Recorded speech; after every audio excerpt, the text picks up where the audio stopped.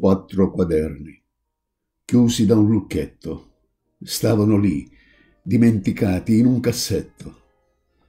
Quattro quaderni. Frammenti di vita, frammenti di me. Li apro lentamente e ritrovo in essi pagine ingiallite di un passato non lontano, pagine di tristezza infinita, speranze di sogni ormai sbiaditi e parole dettate dalla fantasia dell'età, dalla malinconica delusione di questo mondo che muore. Tracce di preghiere silenziose e lagrime appresse. Grida strazianti laceravano le pagine con deliranti spettri di paura. Pochi sorrisi, gioie passeggere, amarezze, solitudine, tristezza, sete d'affetto, d'amore e un po' di speranza. Poi il nulla.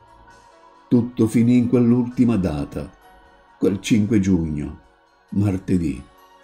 Più nulla, solo pagine bianche e vuote. Quattro quaderni. Erano vita, ora son cenere.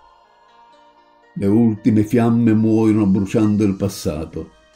Non c'è rimpianto in questa lacrima che riga il volto mio. Sorrido pensando a quelle pagine bianche.